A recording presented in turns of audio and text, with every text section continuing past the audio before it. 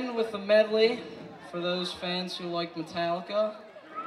Um, we'd like to thank Ferris Bueller's Revenge for letting us come out and play this evening. Uh, I hope you enjoy the rest of your night here. And we are Fourth Man Out.